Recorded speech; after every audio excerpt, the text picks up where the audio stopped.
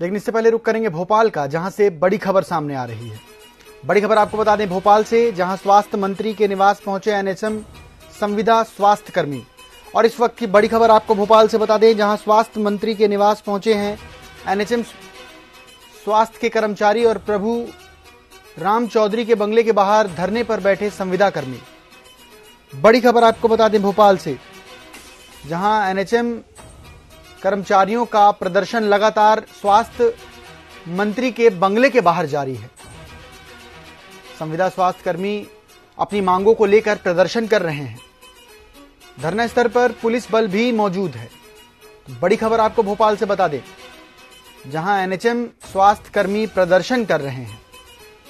स्वास्थ्य मंत्री के निवास एनएचएम संविदा स्वास्थ्य कर्मचारी पहुँचे हैं, जहाँ वो अपनी मांगों को लेकर प्रदर्शन कर रहे हैं।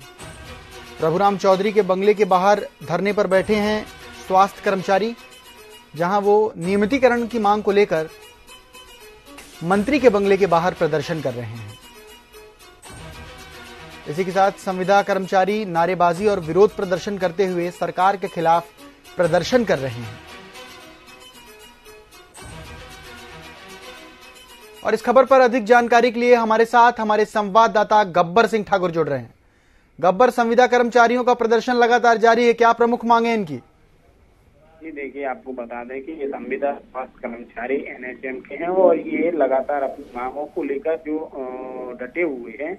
इनकी दरअसल में मांग ये है कि ये चाहते हैं कि जो सरकारी कर्मचारी हैं, उनको उनकी जो सुविधाएँ हैं तो उनके हिसाब से इनके लिए नब्बे प्रतिशत उनके समकक्ष रखा जाए।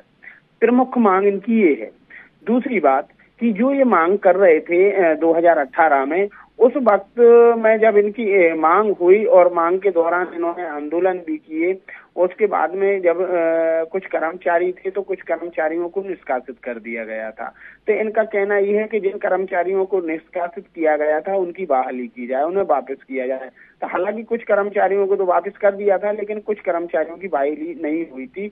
इनका कहना यह है कि ये हमें बहाली की जाए जो हमारे कर्मचारियों को हटा दिया गया था। दो मांगे ये हो गई। तीसरी मांग इनकी ये है कि धरना प्रदर्शन के दौरान जिन कर्मचारियों पर आ, मामले दर्ज हुए थे उन कर्मचारियों से ये मामले हटाए जाएँ। उनका जो मामला दर्ज है वो मामला हटा दिया जाए।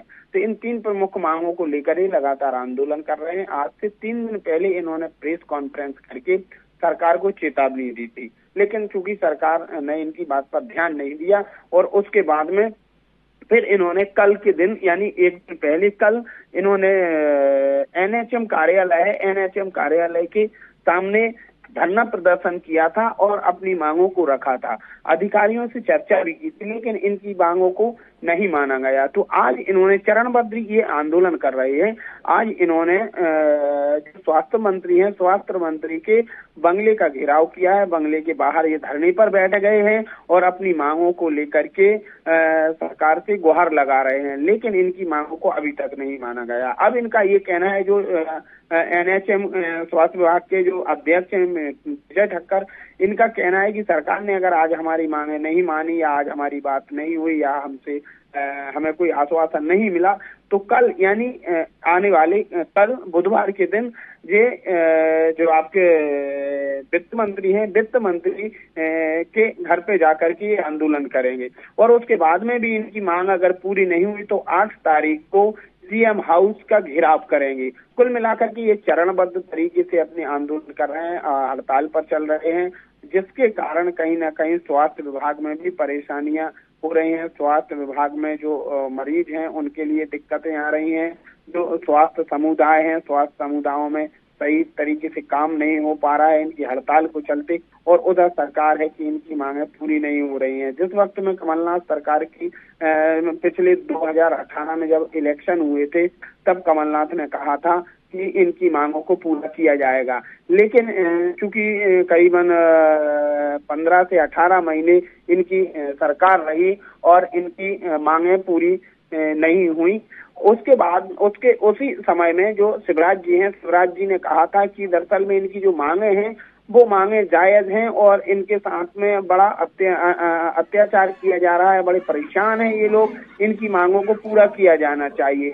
और ये शिवराज जी ने कहा। लेकिन जब कांग्रेस की सरकार गई और शिवराज सरकार आई तो अभी करीबन तीन साल हो चुके हैं, इनकी मांगे पूरी नहीं हुई है। तो अब इनका कहना ये है कि हमारी मांगे पूरी नहीं हुई है। सरकार जब शिवराज जी की थी, तब शिवराज जी ने मांगे पूरी नहीं की। और अब कमलनाथ जी कह रहे हैं कि इनकी मांगे जायज़ हैं। लेकिन जब कमलनाथ जी की सरकार थी डेढ़ महीने तब कमलनाथ जी ने नहीं की, तब शिवराज जी कह रहे थे कि इनकी मांगे जायज़ हैं। कुल मिलाकर के कहा जाए कि जिसकी सरकार नहीं होती है, वो कहता है कि इनकी मांगे जायज़ हैं, इनकी मांगे पूरी की जाना चाहिए।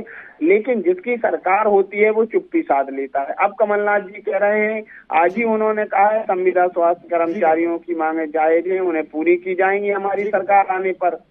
लेकिन अब उनकी मांगे तो भोपाल से बड़ी खबर आपको बता दें जहाँ स्वास्थ्य मंत्री के निवास एनएचएम संविदा स्वास्थ्य कर्मी पहुँचे हैं और अपनी प्रमुख मांगों को लेकर वो बंगले के बाहर प्रदर्शन कर रहे हैं।